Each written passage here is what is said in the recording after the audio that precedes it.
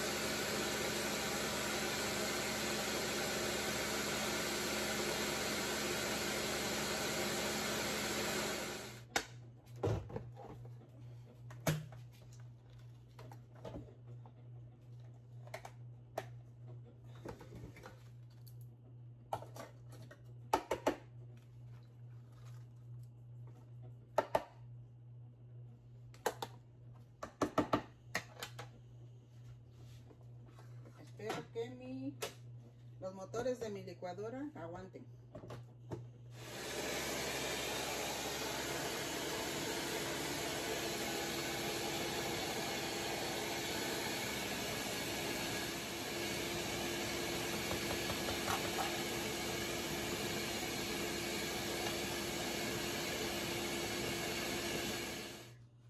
Ah, así está quedando hasta terminar. Me faltan todavía los Aquí está todo el chile molido.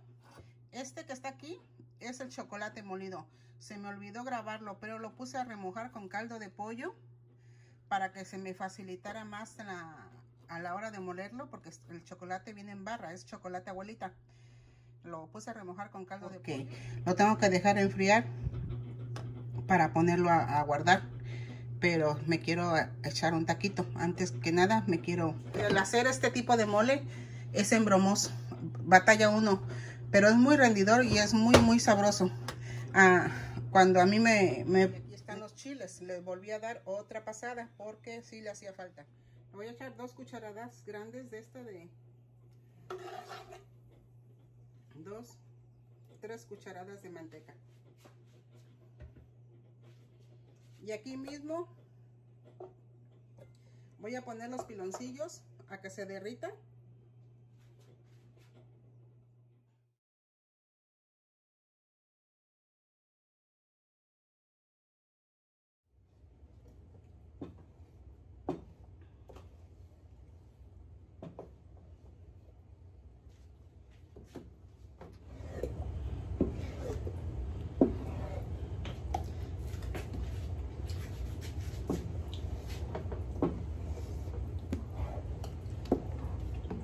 Embarré de, de chile. Haciendo mi molito, gracias a Dios, me está permitiendo.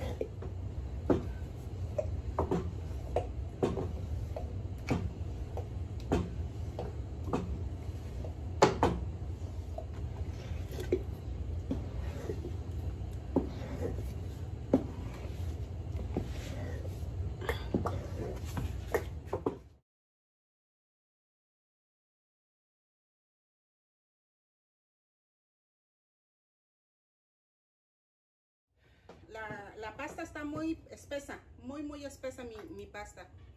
Entonces, ah, esta rinde bastante. Muy, muy eh, a esta pasta se le agrega una buena cantidad de caldo de pollo, dependiendo el espesor que uno quiera.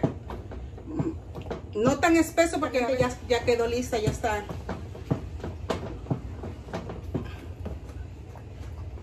Mira, muy, muy espesa mi pasta. Por eso estoy confiada, pero la estoy vigilando. Porque también estoy trabajando más con esta. Esta ya está este, lista. Esta es la que el mole veracruzano. Así como me lo enseñaron a preparar mi, mis abuelitas, mi mamá, mi suegra. De las cuatro agarré un poquito de experiencia. La, cámara. no me veo. Para mostrarles cómo.